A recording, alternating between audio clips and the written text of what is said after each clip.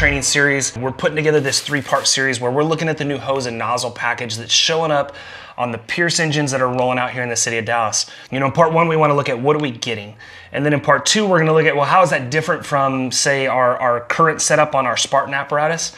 And then in part three, we're gonna be looking at some real practical applications, you know, things that uh, the average firefighter that's putting in the work day in, day out here in the city of Dallas, what are some of the things that they need to know or do in relationship to that equipment? Now, as we jump into this, we're looking at hose and nozzles kind of as a package, these things that were married together when they were built or put together um, by the apparatus committee.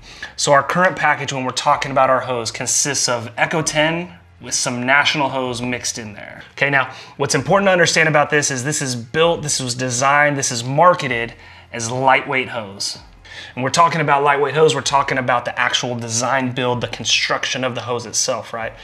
What we're gonna see as we move over into the new Pierce apparatus is we've swapped out the Eco-10 with a little bit of the National mixed in, okay, for what's called Tru-ID. Okay, and that Tru-ID hose was built, it was manufactured, it's, it's marketed for a very specific purpose, okay?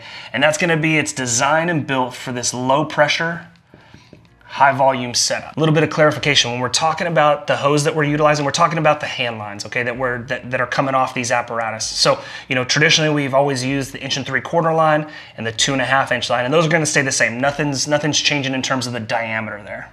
Now, when we're talking about nozzles, you know, what you and I grew up with here in the state of Dallas is gonna be the TFT automatic fog. And as we move over to the new Pierce engines, what you're gonna find is we're gonna be changing that out for an Elkhart cutoff, which is simply just a one and a half inch waterway. It's got a ball gate valve, you know, to cut that water on, cut it off. But what's different here is gonna be that we're gonna give you the ability to use three different tips. You can spin three tips on or off, and that's gonna be a constant gallonage fog, you're gonna have the option for a 7 8 inch smoothbore as well as a 15 16 inch smoothbore. You know, these are both smoothbore options and we're still gonna give you the ability to utilize a fog tip, right? The only difference here, and we'll get more into this when, you know, in part two is this is a constant gallonage, whereas this is a constant pressure or an automatic fog nozzle. So there is a difference between these two that we need to be aware of. Now these are all coming off that inch and three quarter line. Now our two and a half inch line, you know, on the Spartan fleet that we have, okay, has typically utilized the smooth bore, but it's been a one and a quarter inch tip. And what we're gonna do is we're gonna be swapping that out for an inch and an eighth inch tip on the new Tru-ID two and a half inch lines. So this is the new package. This is the new hose and the nozzle package that is part of our, our Pierce engines that are rolling out here in the city of Dallas.